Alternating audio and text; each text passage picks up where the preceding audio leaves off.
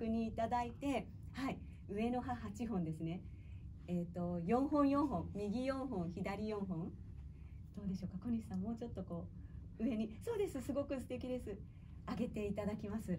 で実際どうでしょう？ここまで8本見えるくらい口角を上げられるってことを今までありましたか？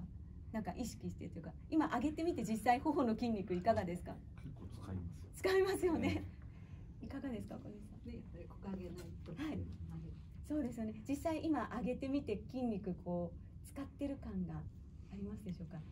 はい。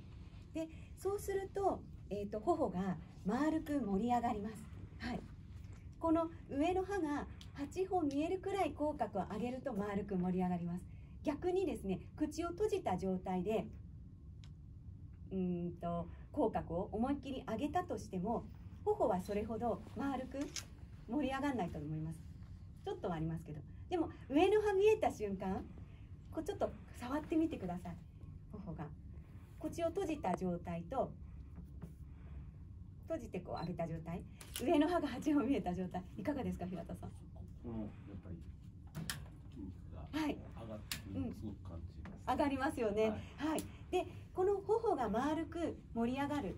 上がることによってこの目の下にある筋肉を自然と持ち上げてくれるんですね。そう。でこの時にですね目のところにもし力がこう入っているとせっかく頬の筋肉が丸く盛り上がった頬の筋肉上げようとしても上がらない、うん、そうすると目だけが笑っていない嘘笑いっていうふうに言われるものになってしまいます。もうこれは顔の筋肉表情筋の自然な流れを活用した笑顔の形だと考えてます。